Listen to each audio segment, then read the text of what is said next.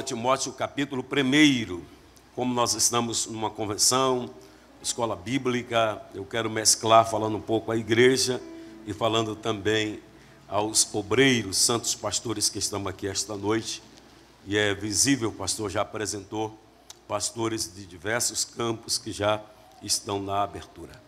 Primeira, segunda epístola do apóstolo Paulo a Timóteo, capítulo 1, versículo 15, disse Paulo: Bem sabes isto que os que estão na Ásia, da Ásia, todos se apartaram de mim, entre os quais eu quero citar aqui Figelo e Hermógenes.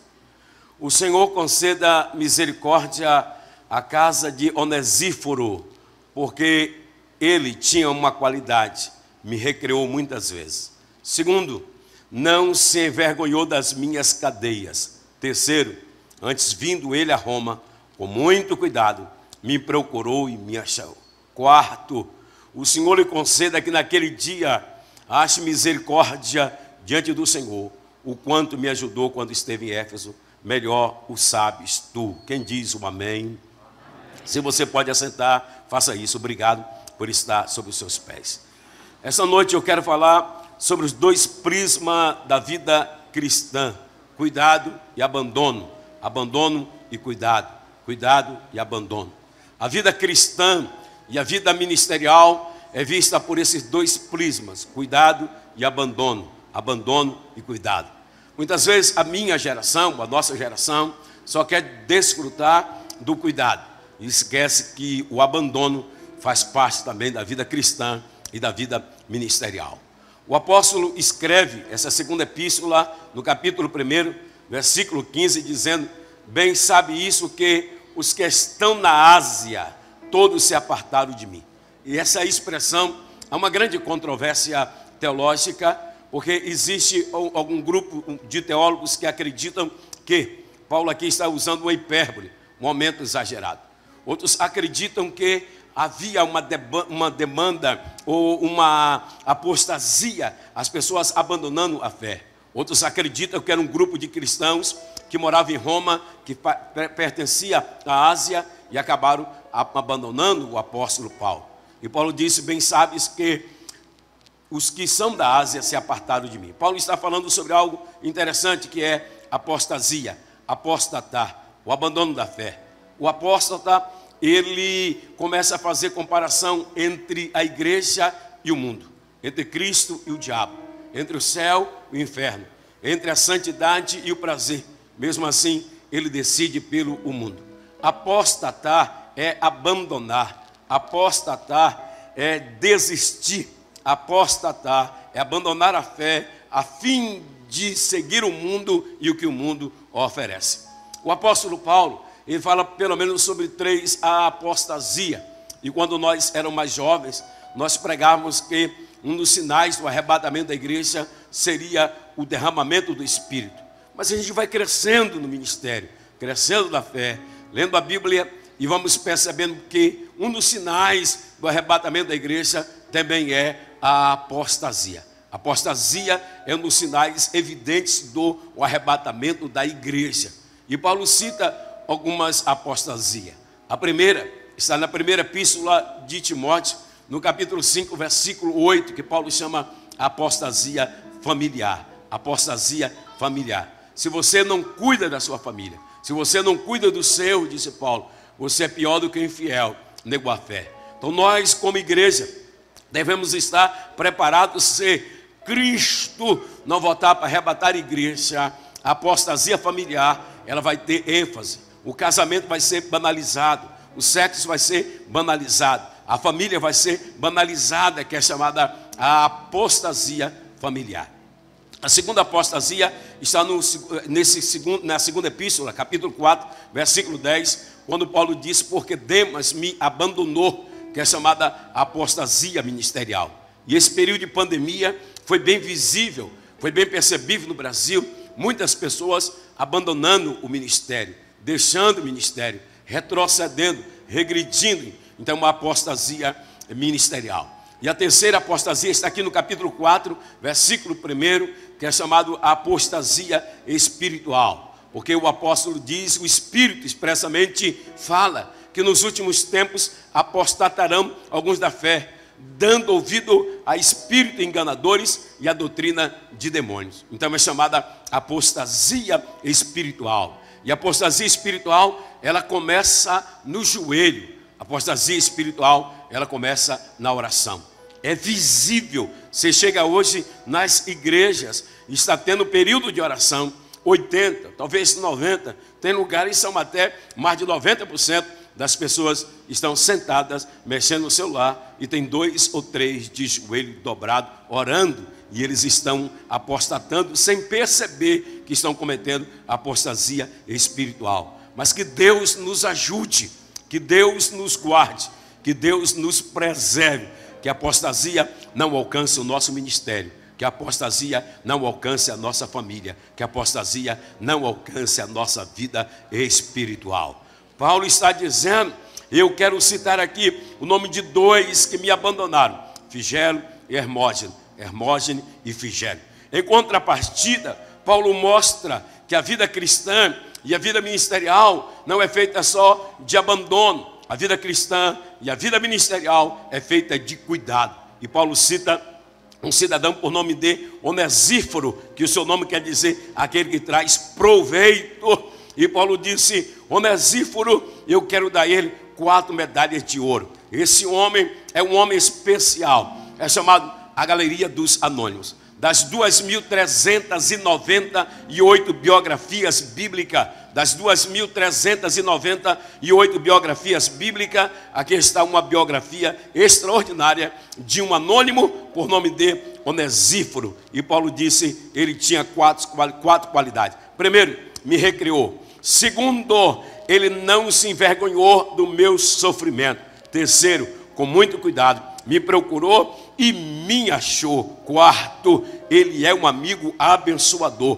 Muito me ajudou em Éfeso. E eu quero pedir, rogar aos céus, que Deus coloque durante a sua caminhada aqui na terra homens como Onesíforo, que sejam bênção de Deus para a sua casa, seja bênção de Deus para a sua família. Primeiro, Paulo disse, porque Onesíforo, por muitas vezes, ele me recriou. Recriar quer dizer animar. Recriar quer dizer me trouxe consolo, me trouxe ânimo, me trouxe alegria nesse momento de pandemia, nesse momento de crise, momento de intempéries, de provações, mais do que nunca, nós precisamos de companheiros de ministério, de cristãos que nos tragam consolo, que nos tragam alegria. Tem gente que só aparece na nossa vida para trazer tristeza. Tem gente que só aparece para a gente para trazer tristeza. Tem gente que quando me manda um zap, eu vou ver só duas semanas depois, porque eu sei que é luta, eu sei que é prova, eu sei que é tribulação,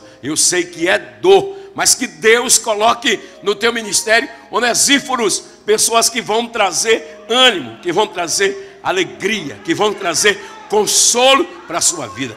Onesíforo trouxe a Paulo alegria. Vou usar uma linguagem bem atual. Onesíforo era um contador de anedota gospel. Era um homem que trazia o alívio para o apóstolo Paulo. Recentemente, eu tive com uma grande liderança desse país, para mim, a maior liderança espiritual desse país. E eu percebi que, próximo ele, tinha uma pessoa de disparidade social muito grande disparidade financeira, disparidade intelectual, disparidade física, e ele sempre estava próximo a esse, essa grande liderança. E eu procurei me informar com o filho dele e disse: por que o seu pai sempre tem esse rapaz perto dele? Ele disse: Pastor, esse rapaz é a válvula de escape do meu pai. Toda vez que meu pai está estressado, preocupado com muita coisa, ele chega aqui e conta uns caos aqui para meu pai. Meu pai dá risada, se alegra, nem percebe que tem sofrimento, dor, nem percebe que tem luta. Que Deus coloque no nosso caminho pessoas que venham nos consolar, pessoas que venham nos trazer ânimo, pessoas que venham nos trazer alegria, alegria, porque alegria é o agente motivador da felicidade, do prazer que Deus, em tempo de crise, de pandemia, lhe traga alegria, lhe traga consolo. Profeta do caos está cheio profeta das tragédias está cheio, profetas que estão profetizando os caos está cheio. Que Deus traga na tua vida pessoas que tenham uma palavra de esperança, uma palavra de consolo, uma palavra de alegria. Se você recebe, diga glória ao nome de Jesus. Alegria, alegria é o agente motivador do prazer, é o agente motivador da satisfação. Alegria faz até a gente ficar mais jovem. Alegria faz até a gente tornar mais jovem. 1990, eu escrevi um livro. Eu descobri que sorrir faz bem para a saúde. Eu descobri que sorrir faz bem para a saúde. Não tinha os dados técnicos, não patenteei, perdi. 2005, os pesquisadores da Universidade de Harvard, da cidade de Cambridge, do estado de Massachusetts, lá do extremo leste do United States of America, descobriram que sorrir faz bem para a saúde. Eu já tinha descoberto 15 anos antes que sorrir faz bem para a saúde. E eles patentearam e ficaram com eles. Eles descobriram que toda vez que alguém dá um sorriso, usa aproximadamente 235 nervos. Então quem sorri envelhece paulatinamente. Como disse os conterrâneos da minha terra, quem sorri envelhece devagarzinho ou de gavazinho. Toda vez que alguém fecha a cara, usa um pouco mais de 785 nervos. Então, quem anda com a cara fechada envelhece mais depressa. É por isso que tem gente que nem casada ainda, nem casada ainda. Você chega para ele, quantos netos já tem? Quantos netos já tem? Que parece que deitou no chão, a galinha veio e pisou no rosto, o rosto está cheio de expressão, está cheio de ruga, e quem tem dinheiro vai se cuidando. Não é pecado se tratar, não é pecado se cuidar. Quem tem dinheiro, tira a pele da testa, quem tem dinheiro arruma o nariz. Ah, 20% da população mundial tem uma deformidade física, que é um buraco no queixo. Aí quem tem dinheiro, acha que é chique, e paga para fazer um buraco no queixo. Quem tem dinheiro, tira a pele da papada. Quem tem dinheiro, tira a pele do seio. Quem tem dinheiro, tira a pele da barriga. Quem tem dinheiro, tira a pele do culote. É tanta pele que tira que dá para fazer um bebezinho. É tanta pele que tira que dá para fazer um bebezinho. E o segredo, a Bíblia ensina em Provérbios capítulo 15: um coração triste seca até os ossos, mas um coração alegre formoseia até o rosto. Deus vai te dar alegria, alegria de Deus vai invadir a tua casa. Deus vai trocar esse luto por tempo de consolo, de alegria. Quem recebe a palavra pastoral, diga glória a Jesus. Segundo, Paulo disse: ele era um motivador, ele era alguém que me trazia consolo, ele era um animador mas ele não se envergonhou das minhas cadeias. Ele tinha o caráter cristão, não se envergonhou do sofrimento. Esse contexto aqui, vocês sabem, que é um contexto difícil. Roma havia sido incendiada, havia 14 bairros em Roma, 10 pegaram fogo e quatro não queimaram, e dois eram de cristãos e dois eram de judeus. Então foi deliberada a perseguição aos cristãos em Roma. E essa é a última prisão do apóstolo Paulo. Então ser cristão nesse contexto era sinal de sofrimento, de prova. Não era como hoje. Ser cristão hoje é sinal de glamour. Ser cristão hoje é sinal de status. Ser cristão hoje é sinal de ostentação. Eu sou cristão. É como hoje. Você vê qualquer pessoa aí quer ser cristão, camarada deu errado, a vida foi fadada ao fracasso, corre para a igreja, dá o status de cristão. Nesse contexto, ser cristão era ser provado, ser cristão era sofrer, ser cristão era ter dificuldades, ser cristão poderia ser preso, poderia ser condenado por Roma. E Paulo diz: Onesíforo, ele não se envergonhou do meu sofrimento, ele tinha caráter cristão. Deixa eu lhe dar uma palavra pastoral. Romanos 11, 29. A Bíblia diz que os dons e a vocação são sem arrependimento. Isso é irrevogável. Deus deu, está dado. Não confunda uma pessoa usada por Deus como sendo um homem de Deus. Não confunda uma mulher usada por Deus como sendo uma mulher de Deus. Os dons Deus deu, mas para ser homem de Deus e mulher de Deus, tem que ter caráter cristão tem que ter vergonha na cara, tem que ter temor a Deus. a minha geração, a minha geração valoriza demasiadamente, valoriza demasiadamente o talento, quando na verdade a gente deveria valorizar o caráter. A nossa geração valoriza demais o talento e esquece de valorizar o caráter. O talento é o que vocês estão vendo aqui, eu com o microfone na mão, pregando. O caráter é aquilo que eu sou no hotel, com o celular na mão. O caráter é aquilo que eu sou em casa com a minha família. O caráter é aquilo que eu sou quando ninguém está me vendo. A igreja não precisa celebrar talento, a igreja precisa celebrar caráter, porque talento não vai levar ninguém ao céu. O que leva ao céu é o caráter cristão. Quem diz glória ao nome de Jesus. A gente valoriza os dons e esquecemos de valorizar os frutos do Espírito. A gente valoriza o falar em línguas estranhas, esquecemos de valorizar o prender a língua entre os dentes e não falar.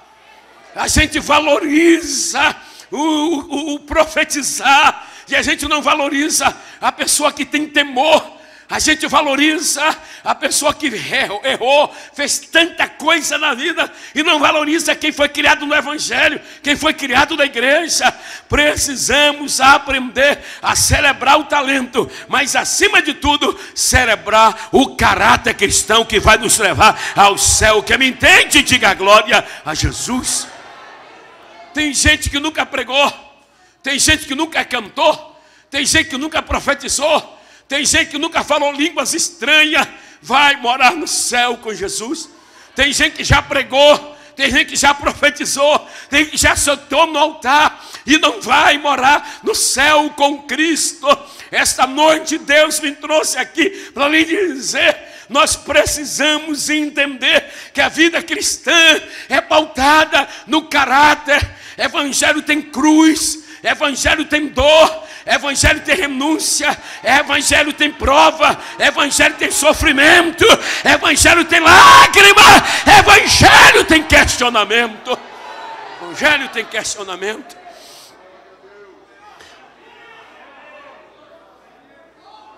Tem dias, tem dias que nós questionamos por quê, por quê, por quê, por quê. E o silêncio de Deus nos incomoda. Silêncio de Deus nos machuca. Oh. E a gente quer uma resposta para tudo isso. Há um texto que eu gosto, que é João 4,4, que diz o texto: era necessário passar por Samaria.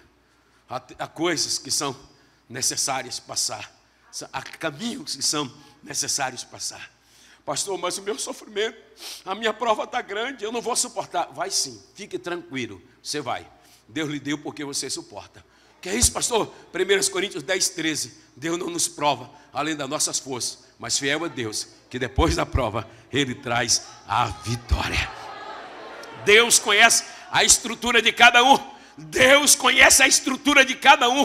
Nó da crise, nó da crise, Deus diz a Abraão: desce ao, desce ao Egito desce ao Egito, desce ao Egito. Na hora da crise, Deus diz a Isaac: Você não, seu pai eu deixei, você não desce para o Egito na da crise, Deus diz ao diabo: Eu te dou permissão para você tocar em tudo aquilo que já tem. Eu deixo você tocar em tudo aquilo que já tem. Na da crise, Deus diz ao diabo: Em Pedro você não põe a mão. Em Jó deixei. Mas em Pedro você não põe a mão. Em Jó deixei. Mas em Pedro você não põe a mão. Na hora da crise, Tiago vai preso e morre na prisão. Na hora da crise, Pedro vai preso e Deus livra na prisão. Não é porque deu errado para você que vai dar errado para todo mundo. Não é porque você não venceu que os outros não vão vencer. Não é porque você não conquistou que os outros vão conquistar. Se você ler Atos dos Apóstolos, do capítulo 1, versículo 14, você vai ver que Lucas, que escreve, vai conjugando sempre na segunda pessoa. A partir do capítulo 15, Lucas começa a conjugar na primeira pessoa. Se você ler o capítulo 16, Lucas vai dizer que tem quatro crentes ali. Ele, Timóteo, Paulo e Silas. Mas na hora que vão expulsar o demônio, eu fico perguntando, pastor Elias, Onde estava Lucas? Onde estava Timóteo? Na hora que foram expulsar o demônio da pitonisa, Deus sabe, pastor Calais, que Lucas e Timóteo ia ter dificuldade de ser preso. Então Deus poupa ele disse: Hoje vocês não vão, hoje vocês não vão. Hoje só vai Paulo e Silas, só vai Paulo e Silas, só vai Paulo e Silas, porque hoje tem cadeia, hoje tem prisão. E Paulo e Silas, quando estiver preso, não vai murmurar, não. Eles vão cantar e orar, orar e cantar, cantar e orar, e orar e cantar. Quem me entende, diga glória a Jesus. Terceiro, Paulo diz, além de não se envergonhar das minhas cadeias, antes vindo ele a Roma, com muito cuidado, me procurou e me achou. Paulo está dizendo, ele tomou uma decisão, ele teve uma atitude, ele tomou uma decisão em me procurar. Oh, Onesíforo morava em Éfeso e Paulo estava preso em Roma, 1.500 quilômetros de distância. Não tinha avião, não tinha ônibus, não tinha carro. O transporte era o navio, o camelo, o jumento. Ele disse: Eu vou procurá-lo e eu vou achá-lo. Porque a prisão que Paulo estava não é uma prisão que a gente tem ideia hoje, um presídio, uma cadeia pública. Alguém diz que não tinha certeza onde ficava a prisão, era uma prisão oculta. Esse homem arrisca a vida dele e disse: Eu vou procurar e eu vou achar. Sabe o que é isso? Eu vou tomar uma decisão da minha vida. Tem crente que leva a vida protelando, adiando, retardando, como diz aquele português coloquial, empurrando com a barriga. Deus me trouxe aqui para lhe dizer: você precisa tomar uma decisão na sua vida. Tem gente que está namorando e percebe que o namoro está errado, isso não tem jeito, não vai dar certo, mas ele fica insistindo. Vamos ver o que é que dá. Deus me trouxe aqui para dizer: você vai tomar uma decisão hoje, rapaz. Você vai tomar uma decisão hoje. Tem gente que sabe que a, o barco vai afundar e ele fica brincando. Deus está lhe dizendo: é noite de tomar uma decisão. Quem me entende que precisa tomar decisão, diga glória a Jesus. Uma decisão. O ideal é começar bem e terminar bem. Mas se não deu para começar bem, não importa como você começou, o que importa é como você vai terminar. Porque nós tomamos decisões erradas? Primeiro, nós tomamos a maioria das nossas decisões baseada em emoções. Decisões ministeriais, decisões vocacionais, não pode ser tomada baseada em emoções, tem que ser tomada com convicção, com razão. Tem gente que não sabe o que quer. Pastor, eu vou cantar. Que benção, irmão, glória a Deus. Daqui uma semana diz, pastor, não vou cantar mais não, acho que eu vou tocar. Glória a Deus, irmão. Amém. Duas semanas depois, pastor, não vou tocar mais não. Eu acho que Deus me chamou para ser profeta. Você, meu Deus, que benção, irmão. Glória a Jesus. Um mês depois, não vou ser profeta, não. Eu acho que eu vou pregar. Dois meses depois, pastor, eu acho que eu vou pastorear uma igreja. Decisões ministeriais, vocacionais, não podem ser tomadas baseadas em emoções. Você precisa ter convicções das decisões que você vai tomar. Essas decisões são tomadas com razão. O camarada na emoção, pastor está precisando de um obreiro lá no bairro é, Subaco de Onça, na perna, na rua Perna de Cobra, lá de, do, do bairro do, junto do buraco do sapo. E ele disse: Eu vou, eu vou, eu vou não combinou com a esposa, não combinou com os filhos, só tomou na emoção. Chega em casa, amor, nós estamos indo lá. A mulher disse: Nós não.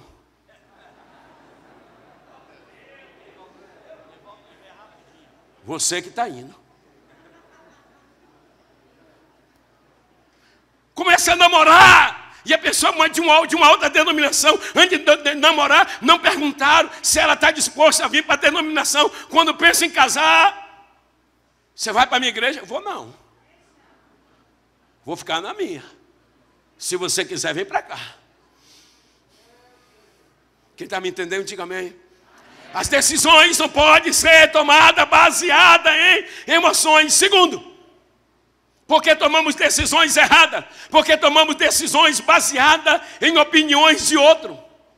Não existe aquele negócio, se fosse eu no seu lugar, isso não existe. Quem vai viver é você. As reações biológicas são diferentes. Você não pode tomar decisões baseadas em opiniões dos outros. O que você acha de eu ir para aquela congregação? Não é ele quem vai, quem vai é você. O que você acha de eu casar com ele? Não é ela que vai casar, quem vai casar é você. O que você acha de eu entrar naquela empresa? Não é alguém que vai trabalhar lá, é você que deve trabalhar lá. Então não tome decisões decisões baseadas em opiniões dos outros, tenha a sua própria opinião formada, saiba o que você quer da sua vida. Quem está me entendendo, diga amém. O jovem da igreja interpelou-me e disse, pastor, que o senhor acha daquela moça? Eu disse, eu acho nada. Mas é de Deus, eu disse, quem tem que saber é você. Não é você que vai casar com ela? Não sou eu. Eu vou dizer para você que é de Deus, você casa, começa a dar errada, a culpabilidade você vai jogar sobre mim. Então assuma seu B.O. É você que vai namorar, então pense bem, converse com ela, escolha. Mas ela é bonita, pastor? Não sei, quem sabe é você. O gosto é seu, não sei o gosto que você tem. Quem está me entendendo, diga amém. amém. Terceiro, porque nós tomamos decisões erradas ou fracassadas, porque não sabemos o que queremos. Não sabemos o que queremos. Não sabemos o que queremos. Eu congreguei numa igreja, lá na minha idade, que o obreiro, meu Deus, pensa no obreiro ruim de congregar, era ele. Ele sofria falta. Ele batia falta. Ele cabeceava. Comemorava o gol. E saía abraçando. Começava a oração. Cantava os três hinos da harpa. Fazia a leitura oficial. Dirigia o culto. Dava oportunidade pregava, fazia a oração final e ainda dava a benção apostólica. Você já passou por algum lugar e percebeu alguém assim? Você já passou por algum lugar e percebeu alguém assim? Oh, você não precisa deixar apenas uma herança. Você precisa deixar um legado. Herança é aquilo que eu deixo para alguém o legado é aquilo que eu vou deixar em alguém. E eu digo à minha geração: qual o legado que nós vamos deixar para a próxima geração? Qual o legado que nós vamos deixar para aqueles que estão vindo atrás de nós? Qual a, a, o legado que nós vamos deixar aos nossos filhos? Herança é bom, mas vamos lutar para deixar um legado. Que Deus nos ajude a deixar um legado para a geração que está vindo. Bendito seja o nome do Senhor herança e legado, é, legado e herança. Porque nós não queremos tomar decisões, isso é muito importante. Toda decisão, toda decisão, por menor que seja, há um preço a ser pago. Toda decisão, por menor que seja, há um preço a ser pago. É por isso que nós não queremos tomar decisão, porque toda decisão, por menor que seja, há um preço a ser pago. Há um preço a ser pago. Ai, pastor, o senhor me assustou. Toda decisão, por menor que seja, há uma glória a ser recebida. Toda decisão, por menor que seja, há uma glória a receber, há uma glória a ser conquistada. Quem me entende, diga glória ao nome bendito de Jesus. Toda decisão, toda decisão, por menor que seja, há uma glória a ser recebida, há uma glória a ser conquistada. Quando jovem, no auge do meu ministério e dos meus sonhos, dos meus projetos, eu tomei uma decisão e quem me cercava disse, Nerildo, rapaz, essa decisão é errada. Eu disse, eu tenho convicção, eu sei o que eu quero. Não, rapaz, você não pode fazer isso. Eu disse, estou indo morar em São Paulo. Estou indo morar em São Paulo, na grande metrópole, na grande megalópole. Mas você não conhece ninguém. Eu disse, mas é para lá que eu vou. Mas você não sabe quem mora lá. Eu disse, mas é para lá que eu vou. Mas você não conhece pastor nenhum lá. Mas é para lá que eu vou. Mas você não conhece igreja nenhuma lá. Mas é para lá que eu estou indo. Mas você sabe o que tem lá? Sei não, mas eu estou indo para lá. Mas você sabe como vai ser? Sei não, mas eu estou indo para lá. Toda decisão, por menor que seja, há um preço a ser pago. Qual foi o preço que eu paguei? Deixei meus amigos, deixei e aqueles que foram criados comigo, mas há uma glória também a ser recebida. Oh, glória ao nome de Jesus. Foi lá que eu conheci a minha esposa,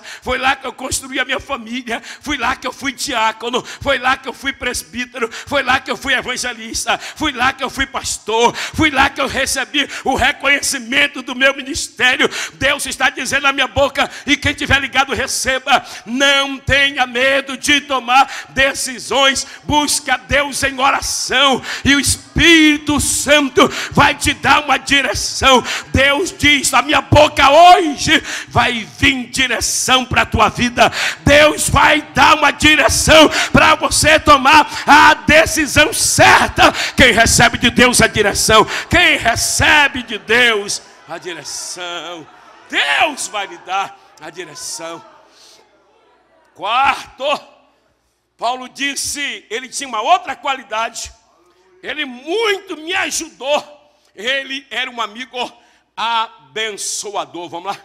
Ele era um amigo abençoador. Vamos lá. Ele era um amigo abençoador. Que Deus levante na sua vida.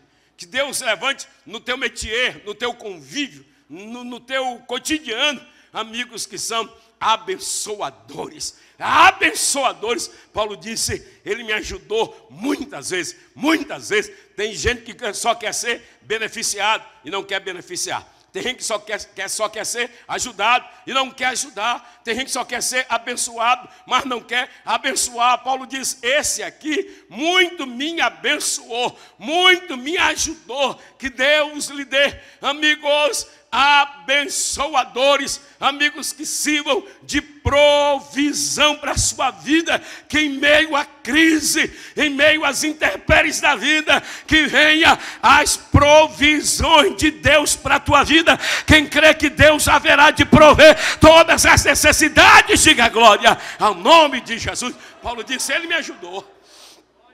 Ele me ajudou. Lembre-se do que Lucas diz em Atos 20 e 35, mas bem-aventurada coisa é dar do que receber. Quem recebe se torna devedor. Quem recebe se torna devedor. Quem recebe se torna devedor. Então aprenda a semear, aprenda a semear, aprenda a plantar, aprenda a semear. Porque a lei da semeadura é justa, é justa, é justa, é justa. Vamos lá? A lei da semeadura, ela é justa. Ninguém planta abacaxi para colher melão. Ninguém planta abacaxi para colher melão. Quem planta abacaxi vai colher abacaxi. É por isso que tem muita gente colhendo abacaxi reclamando da vida. Quem planta goiaba não vai colher manga. Quem planta goiaba vai colher goiaba. Quem planta feijão não vai colher arroz. Quem planta feijão vai colher feijão. A, lei da semeadura, ela é justa. Ela é justa. Ela é justa. Segundo, a lei da semeadura é infalível, é infalível, é infalível, é infalível. Plantou, colhe plantou no tempo certo, vai colher. Plantou no tempo certo, vai colher. A lei da semeadura, ela é universal. Ela é mesma aqui em Betim, é a mesma aqui em Minas Gerais, é a mesma em São Paulo, é a mesma na América do Norte, é a mesma na América do Sul, na América Central, é a mesma na Europa, na Ásia. A lei da semeadura é bíblica. A lei da semeadura é bíblica. Tem muita gente reclamando da vida. Ninguém fala comigo, mas tu fala com quem? Ninguém me ajuda, mas tu ajuda quem? Ninguém me abençoa, mas tu abençoa quem? Ninguém ora por mim, mas tu ora por quem? Ninguém visita a minha casa, mas tu visita a casa de quem? Ninguém manda uma mensagem para mim que presta no zap, e você manda mensagem que presta para quem? Ninguém adora quando eu canto, mas quando os outros cantam, tu adora. Ninguém adora quando eu prego, mas quando os outros pregam, tu adora. Deus está lhe dizendo: a lei da semeadura é bíblica. Quem me entende, diga glória ao nome de Jesus.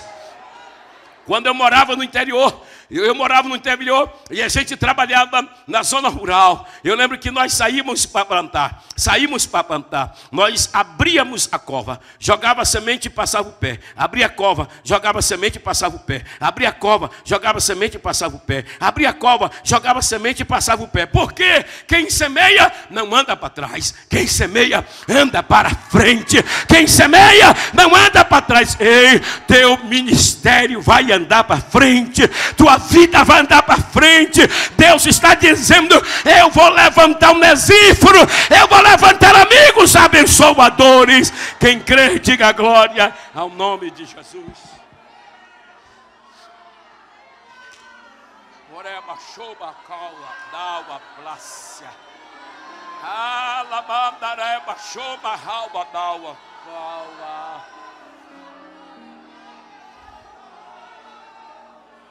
A carta aos Filipenses, a carta aos Filipenses, pastor Elias Sorral, é uma carta de gratidão.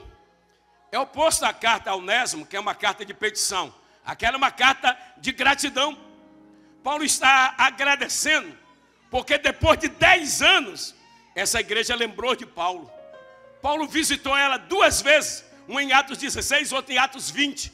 Dez anos depois, a igreja manda uma semente para o ministério de Paulo. Oh, glória a Deus! Oh, glória a Deus! E tem um camarada chamado Epafrodito, que Paulo manda ele levar a carta. E Paulo diz, libera uma palavra. 4,19. Ele diz: O meu Deus. E nessa carta, Paulo usa, Cleito, essa expressão, meu Deus, por sete vezes. Ele diz: O meu Deus, segundo a sua riqueza, suprirá, suprirá, suprirá, suprirá todas as vossas necessidades em glória. Ligado que eu estou encerrando, e essa palavra é para a sua vida. Paulo diz: O meu Deus suprirá. Essa palavra suprirá, suprirá no grego é pericel, é pericel, é pericel. Segundo o doutor Russell Shedd, a palavra pericel de, de Filipenses 4,19 é a mesma de Filipenses 4,18, que é abundar, abundar. Paulo disse: Muito eu tenho em abundância. E o versículo 19, ele diz: Vai suprir. Russell Shedd diz que é pericel, que é a mesma palavra, que é ter em abundância, quer extravasar. Paulo está dizendo: meu Deus, vai abençoar vocês, que vai extravasar, que vai derramar. Eu quero liberar uma palavra sobre a tua vida esta noite.